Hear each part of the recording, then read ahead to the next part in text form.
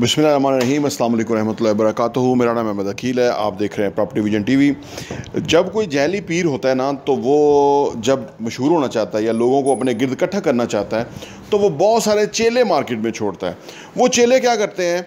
वो जाके हर बंदे को कहते हैं कि वो पीर बहुत पहुँचा हुआ है। मेरा ये काम था, मेरा वो काम था, मेरा बच्चा बीमार था, मेरा काम नहीं चल रहा था, मुझे ये नहीं मिल रहा था, मेरे औलाद नहीं हो रही थी। उन्होंने दुआ की है, उन्होंने नज़र की है। तो मेरा सब कुछ सेट हो गया, मैं तो हो गया।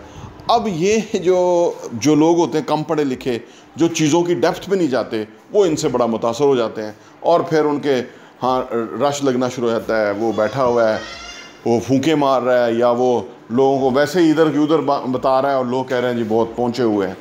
यही स्ट्रेटजी यही काम जैली हाउसिंग सोसाइटियाँ करती हैं कि वो बहुत सारे चेलों तैयार, वो चेले तैयार करते हैं। वो ये नहीं सोचते कि भाई हमें कस्टमर चाहिए। नहीं, वो कहते हैं, चेले चाहिए हमें कि जो बेसिकली हमारा जाके मार्केट में बताएँ कि जी वो बहुत पहुँचा, वो बहुत बड़ी हाउसिंग सोसाइटी है जी, वो तो लाखों कनाल जगह उनके पास है, मैं खुद देकर आया हूँ। और जब अंदर जाके पता करें तो लगता है कि जी कोई किसी का आठ हज़ार, किसी का दस हज़ार एन अप्रूव है और बाकी हवा में है। इस पर बात करते हैं।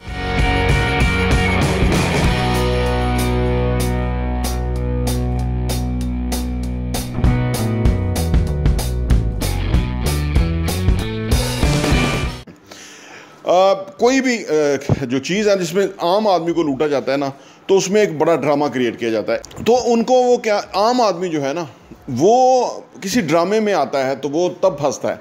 आम आदमी ऐसे नहीं फंसता। और अगर ये क्लियर हो जाए, लोगों को पता लगना शुरू हो जाए कि ये ड्रामा है और ये चेले हैं और इनके पैसे बहुत बनते हैं और पीर जितने पैसे इकट्ठे करता है, उनमें से मेजर शेयर इनके साथ शेयर करता है। तो फिर लोगों को पता लग जाता है और लोग फिर फंसते नहीं हैं।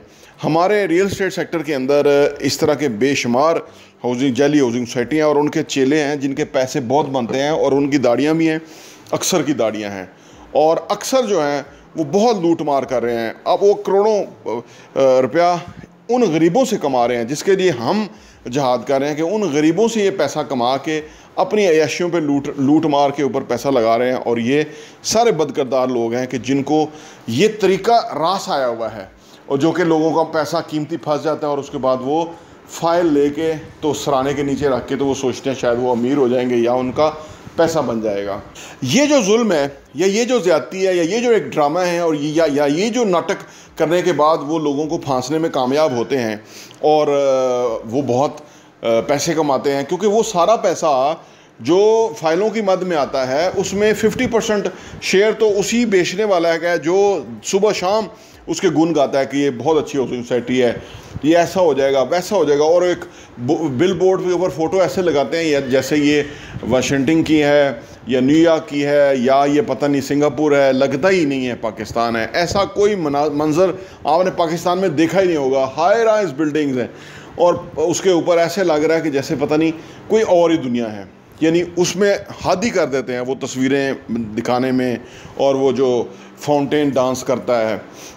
आम आदमी को घर चाहिए उसे वो शशके नहीं चाहिए, लेकिन उसको जानबूझ के वो शशके दिए जाते हैं कि वो फाउंटेन डांस करेगा और वो बेसिकली आपके पैसे से होगा।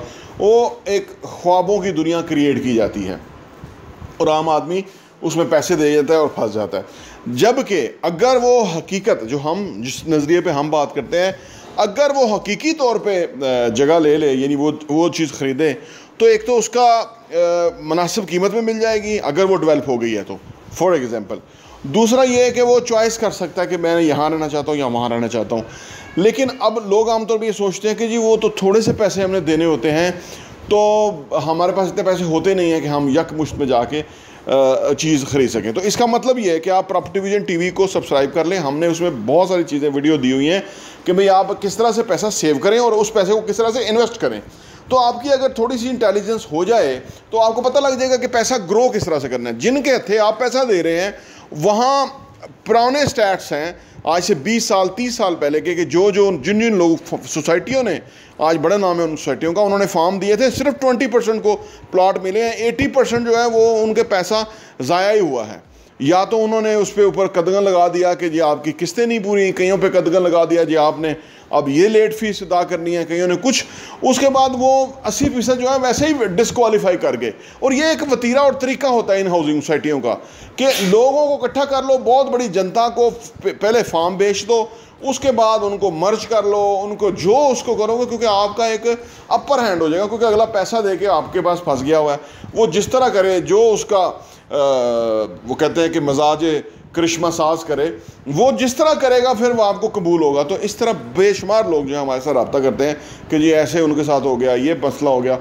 लेकिन जब वो ये सोचते नहीं हैं, देखिए, कहते हैं सोचना बहुत मुश्किल काम है। दुनिया के बहुत कम लोग सोचते हैं। अगर आप भी उनमें शामिल हैं कि जो नहीं सोचते तो फिर आपका पक्का नुकसान होगा। लिहाजा आपको अपना जहन बनाना होगा, जो आप सोच विचार करने वाला जहन हो। देखिए गोरा हमसे इसलिए अच्छा है ना वो प्लान बहुत अच्छा करता है वो सोचता है रियलिस्टिक बहुत है। हमारे ये जैली पीर और ये जैली हाउसिंग सोसाइटियाँ और उनके आगे चेले जो जिनका पैसा बनता है वो हमारी मत मारे रखते हैं। फिर वो जिस तरह वो, वो बंगाली बाबा और ये वो और फिर तवीज़ गंडे ये वो ये हमारी जहालत है हमें इसे मानना चाहिए। ये अगर हम अपनी जहालत को ख़त्म करेंगे तो फिर हम एक खुद भी इनफरादी सतह पे भी एक अमीर इंसान होंगे खुशहाल इंसान होंगे कामयाब इंसान होंगे और मजबूरी तौर पे मुल्क को भी यही फ़ायदा होगा। तो हमें अपने आप को बदलने की ज़रूरत है और आज के दौर के अंदर अगर नहीं कोई बदल सकता, यानी आज अगर कोई इन्फॉर्मेशन तक नहीं पहुँच पा रहा तो मैं समझता हूँ उससे बड़ा जाहिल कोई है नहीं कि वो अपनी जो जहालत है उसको ख़त्म ना करे और उस वक़्त भी ख़त्म ना कर पाए कि जब कि वो पैसे दे रहा है। यानी जब उसको कोई चेला जैली सोसाइटी का फॉर्म बेच रहा है और आपके उसके साथ फ्रॉड कर रहा है और वो ना समझे तो उससे बड़ा जाहिल कोई नहीं है।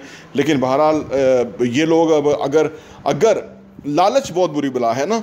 देखिए, लालच लालच हर को दिया जाता है। आप देखें, दुनिया में जो हम मसाले हैं, बल्कि सबसे बड़ी बात मिसाल हमारे आका सरकार दो आलम सल्लल्लाहु अलैहि वसल्लम की है कि आपको लालच दिया गया कि आप सरदारी लेना चाहते हैं, वो ले लें।